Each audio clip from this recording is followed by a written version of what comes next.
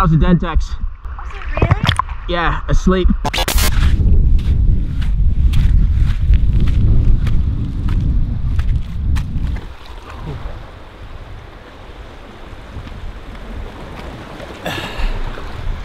Welcome to beautiful, scorching Greece in the summertime. Now, if you've watched any of my videos before from the Mediterranean, you'll know that I haven't been very successful here in my spearfishing exploits. But that's for a good reason. It's very difficult to dive here. There's not a lot of fish and it's generally pretty deep and there's a lot of people that dive here. So that combined with clear water and cagey fish makes it pretty hard to find one. Now I'm just scouting it now to make sure that it looks safe. I guess I haven't been here before, but what I can see behind me here is some big paragliding boats. I think I'm going to wait for those tourist boats to disappear a little bit before I get in this afternoon. I might wait till around four o'clock when the sun's going to be disappearing behind these mountains. There'll still be light around, but I think most of those guys will go home by then. So we'll come back a bit later. Exciting though, I've got two new spear guns to test. This wooden carbon Rob Allen roller that Rob Allen doesn't even really want me to talk about, so sorry Rob. It's a pretty cool looking gun and I've also got a beautiful carbon fiber spear gun from Orca Spear Guns in Spain to test out. Haven't tried either of these guns so I think when I get in I might do a little bit of target practice, just shoot the gun a few times first, but which gun to take in today? Tough question. They're both really, really nice looking guns. One thing that's interesting to note is this ridge here that you can see, this mountain carries on all the way to that headland down there past the hotel. Now, I'm hoping that the bathymetry, the seabed, follows a similar sort of shape with rocks, whereas if you look back this way, where the beach was down there, there's no mountains, so I'm hoping that the landscape follows what the sea is going to do, which should mean some rocks and fish. Here we are, the beloved Sportube makes its triumphant return to the channel. I don't think I've seen a nicer looking off-the-shelf carbon fiber spear gun than this. If it works half as good as it looks, watch out fish. Pew pew pew!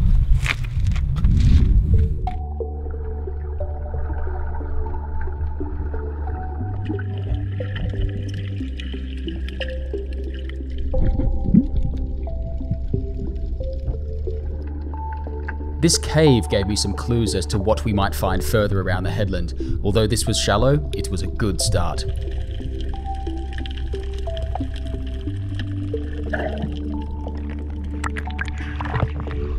Now if we could just find one of those at 20 metres. As we approached the headland, I could see some blue runners and bonito whizzing past, so I made a dive.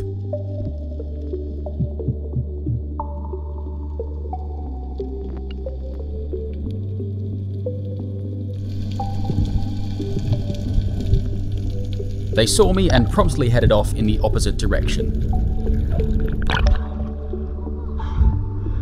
Saw those little, I think they were either blue runners or little, little tuna, like little bonito looking things. That's a good sign. it's more than I've seen in the last six dives in Greece. ah, this sunset might just do the trick for us. There were thick clumps of baitfish looking skittish on the surface. There had to be a predator around here somewhere eating these things.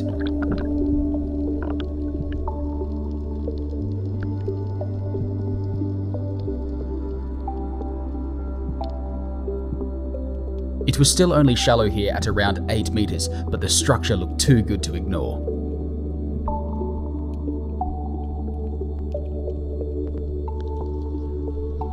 It always takes me a while to get back into the groove of diving the Mediterranean. The hunting style is slow, calculated, and you have to keep well hidden.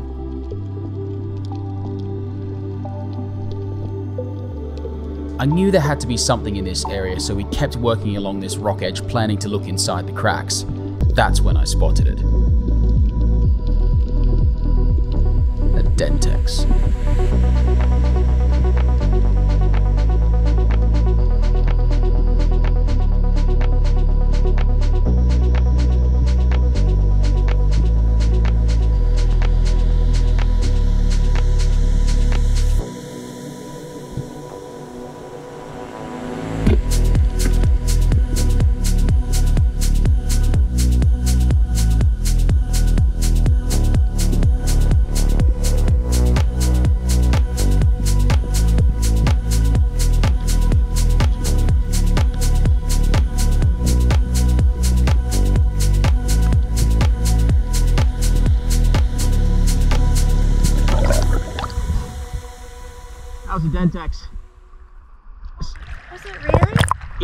Yeah, asleep. What? I thought you hit it.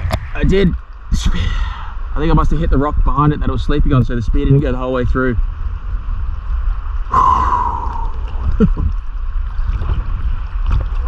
oh, that is a...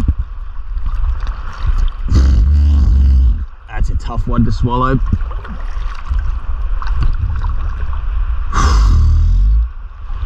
Smacked it good, but just... Yeah, you can see the rock on the end of my spear. Just hit the rock the other side and didn't didn't get the flopper out. Oh!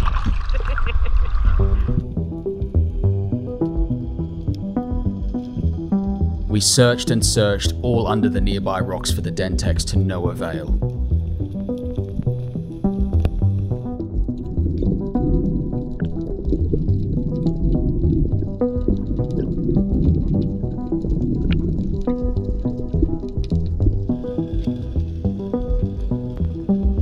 Sadly, there were lots of lionfish present in this area, and I wasn't sure if the local restaurants would be happy to cook them for me, so I just let them be.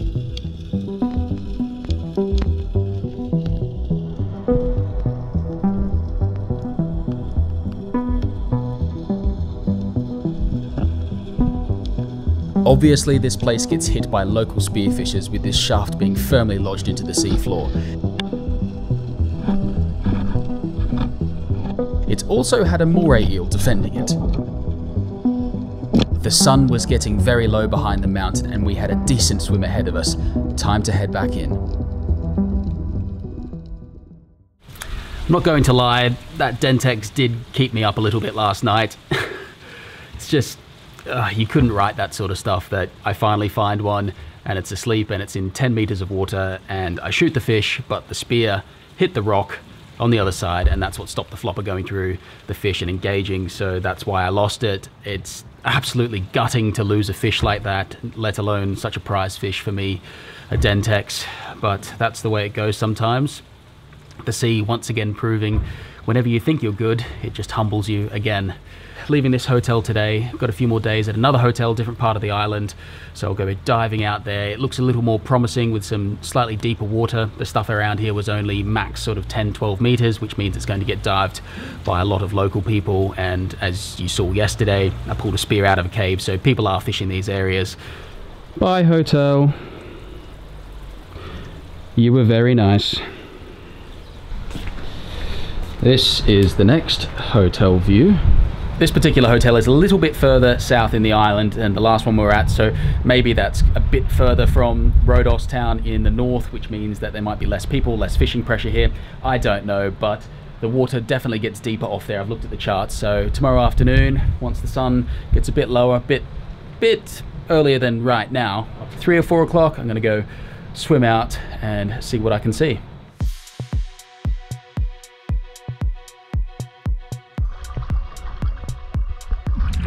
Hardly see my fin. Yeah, I think there's a blue line up there. There's got to be. Disappointingly, the visibility was only a few meters. The visibility's just opened up here as I've come around this corner. Thankfully, it's open to about 10 meters and I think it, it gets, it's going to get bluer as I go out, but even if it stays this sort of 10 to 15 meter visibility, it'll probably be really good for hunting fish because they might not be able to see me approaching, which helps me because help I can get here. I found a gutter that led to a small bay, and off in the distance I could see some mullet milling about.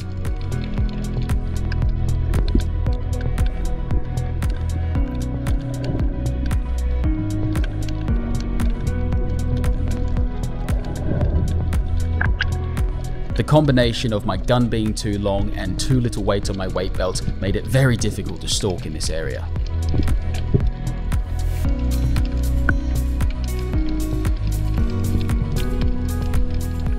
Really distracted there hunting those mullets up in the shallows there. There was one really good size in and amongst them. It's just really shallow there. And also saw a Sargo Pizzuto, the long snout Sargo, really, really good size come out of a hole there. So it's looking promising, even though it's you know pretty easy to get here. So I'm hoping that a bit further along there's more fish. I'd just seen a solid sargo feeding on the other side of this ridge. My plan was to dive away and sneak my way around the rock. However, I was quickly distracted.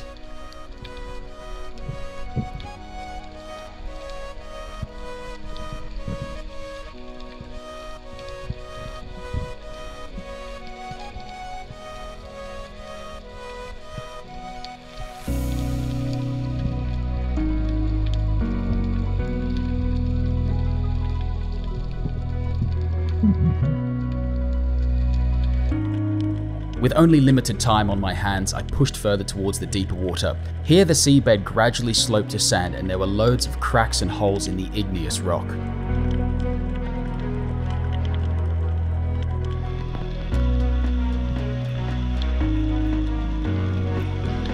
This area looked like there would have to be a groper living here, somewhere.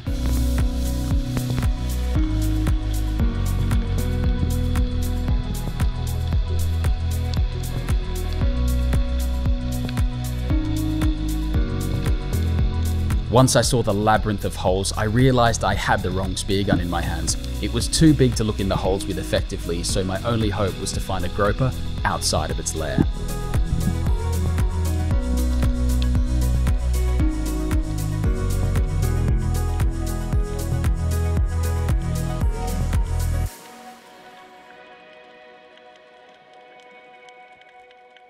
The visibility's changed here again, but it's a huge vertical wall.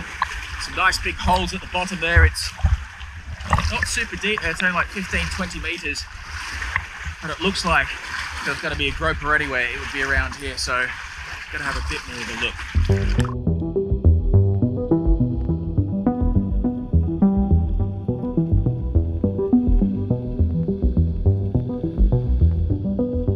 In retrospect, I can see I was diving far too quickly here, and it's no wonder I didn't see this gold blotched groper sitting out in the open.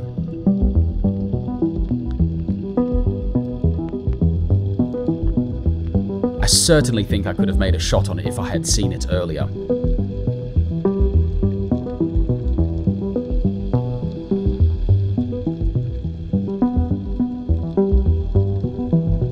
Poor visibility made it hard to see over the rock edge, so I returned to the surface, made another dive on the other side of the rock so that the sun was behind me.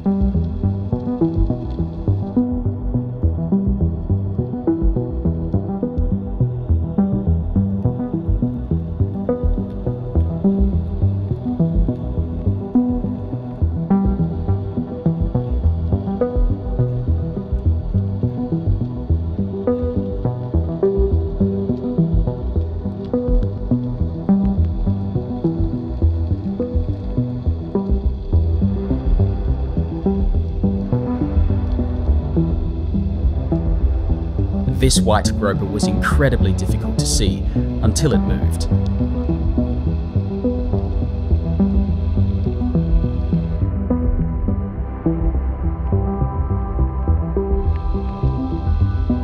I've seen this behaviour before in videos where the white gropers swim off and then turn and face the diver. In the poor visibility, I wasn't sure exactly how big this fish was, and in the end, I decided not to take the shot.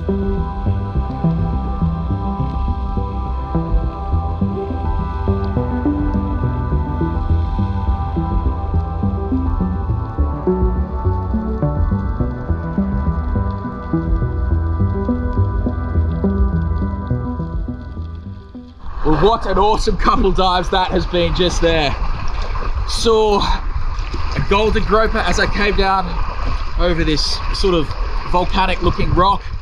And I didn't really see it in time but it spooked away. And then as I followed it down the ledge a little bit more I saw another one that was a lot bigger. Definitely would have been able to shoot that.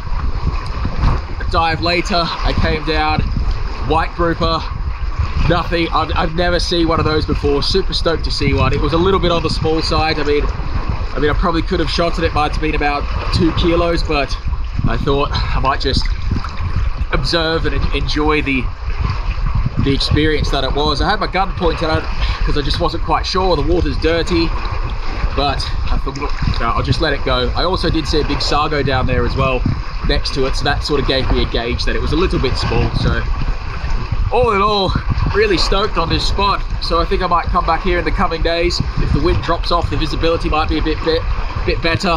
Might be easier to hunt here. But for now, I'm going to maybe do a few more drops and then make my way in. I found more structure that looked promising, took a mental note, ready to return again.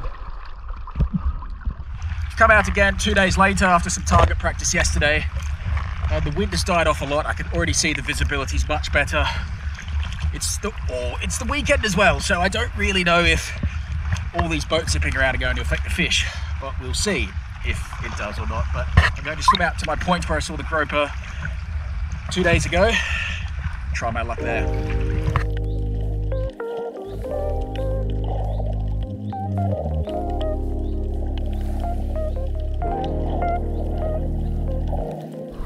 Half an hour of solid swimming later, I've reached the point. When I'm diving these drop-offs, I want to be as hidden as possible from the fish. Anchoring my float with a drop weight keeps me visible to the boats, but allows me the freedom to move and stalk as I please. I also removed the clip from the handle of the gun as it was making noise when I was crawling along the bottom.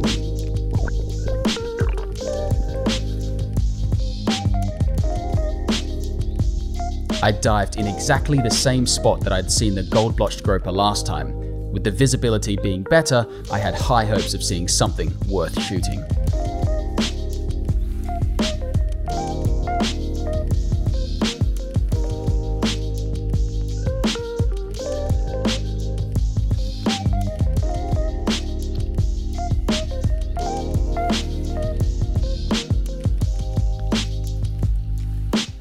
That cheeky little white groper was back and sitting high off the bottom.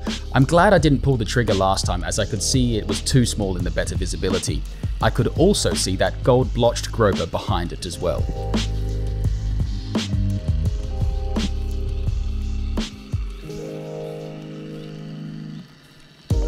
It was heading for its lair and I knew this would be my only opportunity.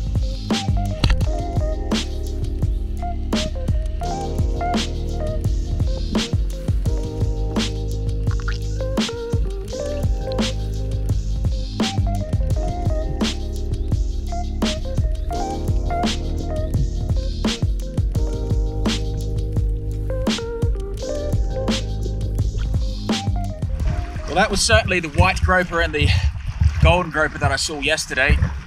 Exact same spot.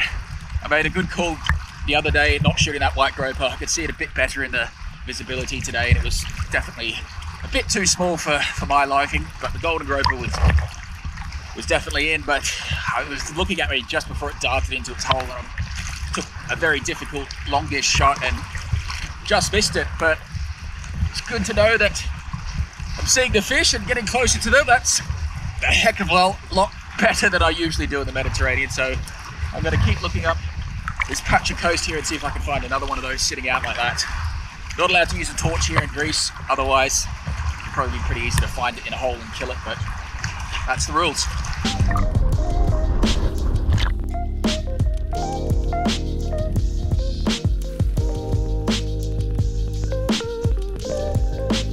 These dust clouds at the front of the holds indicate a fish has moved quickly in the area. Once again, it reinforced the fact that I probably needed a shorter gun to effectively fish these holes and catch the fish that were hiding in them. As always with afternoon dives, I was out of time and had to head back in. Tough swim today. I just looked here. It was 1.5 kilometers to the furthest point. I saw that white groper that I saw yesterday. It was a bit smaller than I initially anticipated when I saw it today in the cleaner water, but it was still foggy down the bottom. But I did see that golden groper and made a shot, but not to be. It's a tough place to fish, but that's what makes it so rewarding, I guess, when you finally actually do catch something, if that ever happens. But the important thing is I'm seeing fish more so than I have on other, other trips. So I might dive one more day on this holiday hopefully we can eat some fresh fish that I've shot instead of going to a restaurant. Not that you mind going to the restaurants. I like going to the restaurants as well. we'll see. With only one more opportunity to dive on the trip, we decided to get up early for sunrise and try somewhere further south.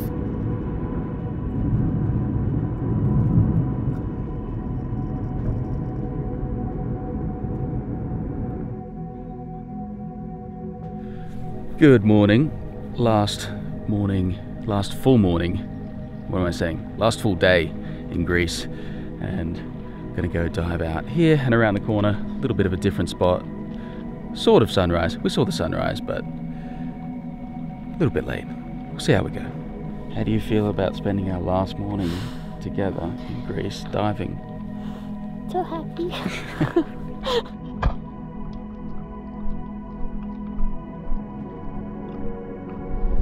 This lovely local down here has just said that it's a good spot for fishing, better than when we were, well, better than where I've been in the previous days.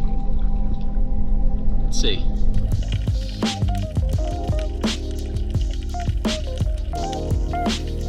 Less than 100 yards out into the bay, I spotted a sand bowl which had shoaling fish. I thought there could be sea bass off in the distance and made a dive.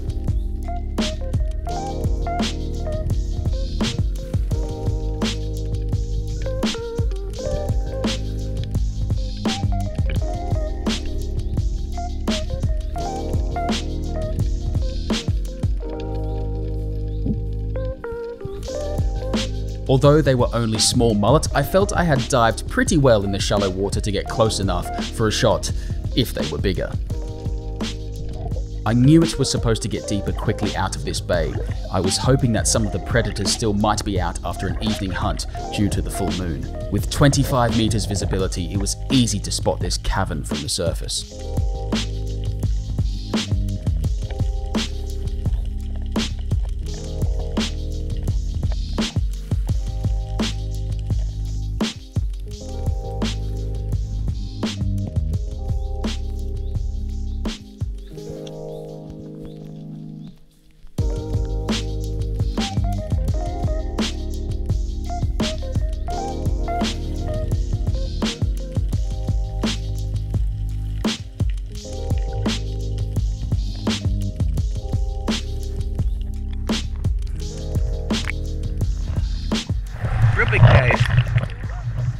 Half a dozen dives later, I thought we should try looking in the shallows.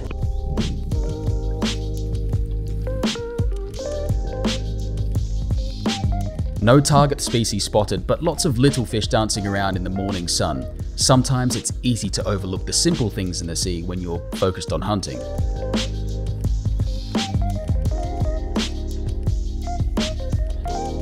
Once again, I headed out to deeper water around 25 meters and spotted some interesting structure.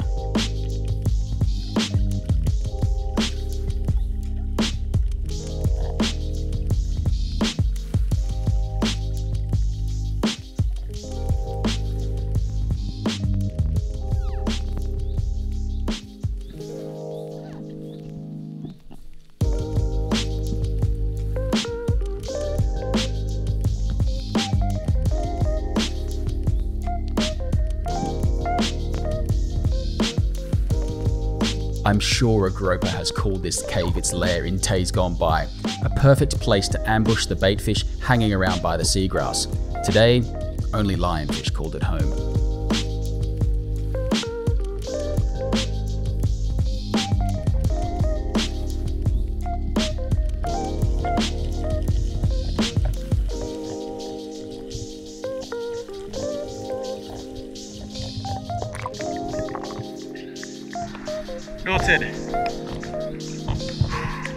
Breakfast time?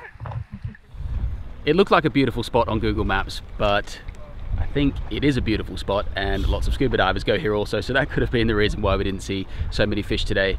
But we did see some mullet early in the morning, right when the sun was coming up, which was pretty cool to see. They were a little bit too small, unfortunately, to spear. Didn't see a whole heap other than the mullet and some small sargos. Saw plenty of tiny little groper, but not a bad way to end the trip with fantastic visibility. I think it's the best visibility we've had the whole trip, I'd say. Once again, Mediterranean proving a very difficult school to learn how to spearfish and learn to try and hunt these waters. It's so different to what I'm used to, but that's what I love about it. That's the challenge, and I will be back. Bit of bad luck this trip. Well, good and bad luck. It's very good luck that we found a sleeping Dentex, but it's also very bad luck about what happened to that. But it's just got me that much closer to getting that goal of getting a Dentex. Missed the golden groper as well, but it's a lot closer than I've been in previous years. So next time we get back to the Mediterranean, I'll take you with us. Despite not taking a fish on this trip, I gained plenty of invaluable experience for next time. Shore diving severely limits your options in the Mediterranean, and next time I will definitely hire a boat for the day. Thank you so much for watching, and I'll see you on the next one.